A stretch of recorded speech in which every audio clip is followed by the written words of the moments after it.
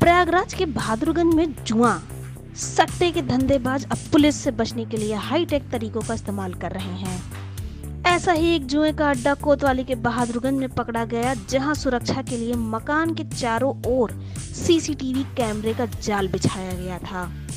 Police ने संचालक बच्चा गुप्ता समेत मौके से तेरह लोगों को गिरफ़्तार कर उनके कब्जे से एक लाख उन्यासी हज़ार नगद व अन्य सामान बरामद किया है।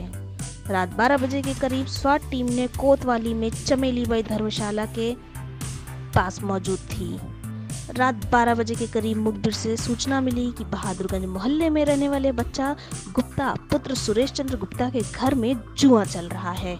जिस पर टीम बताए गए मकान में पहुँची तो वहाँ जुए की फड़ सजी मिली। पुलिस को देखते ही जुआ खेलने वालों में भगदड़ मच गई। लेकिन टीम ने तेरह लोगों को गिरफ़्तार कर लिया। पकड़े गए लोगों में संचालक बच्चा भी शामिल था।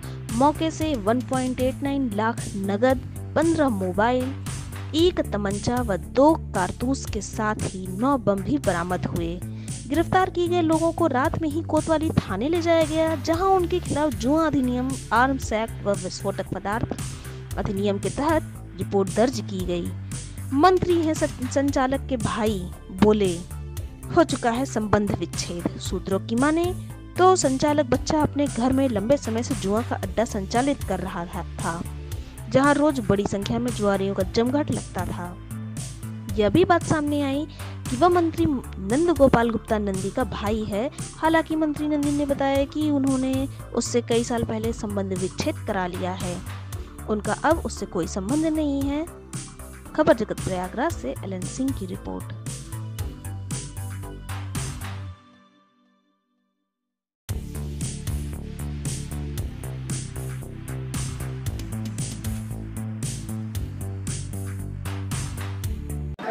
कि देखिए, कल स्वाट टीम और जो थाना घूरपुर के प्रभारी हैं वृंदावन राय, इनके नेतृत्व में और कोतवाली थाने के नेतृत्व में एक रेड की गई थी। बहुत दिनों से सूचना प्राप्त हो रही थी कि एक बहुत ही ऑर्गेनाइज्ड गैंग द्वारा व्यापक स्तर पर जुआ और सट्टा खिलाया जा रहा है, जिस पर इसको डेवलप करके और कल रात में रेड की गई थी। मौके से कुल तेरह लोग पकड़े गए हैं, जिनके पास से एक लाख नवासी हज़ार एक सौ रुपये जामा तलाशी में और फड़ के बरामद हुए हैं। कुल पंद्रह मोबाइल फ़ोन बरामद हुआ है और इनके ये पूरी व्यवस्था करके रखते थे कि अगर कहीं रेट पड़ेगी, कुछ होगा तो वो संबंधित पक्ष पे या पुलिस पार्टी पे आक्रामक भी होंगे। इसीलिए इनके पास से नौ ज़िंदा बम भी बरामद हुए हैं और एक तमंचा भी बरामद हुआ है। ये ये जो ट्रैक हुआ है, ये एक बहुत ही सुनियोजित तरीके से घर के अंदर ये अपना जुआ और सट्टा का कारोबार कराते थे।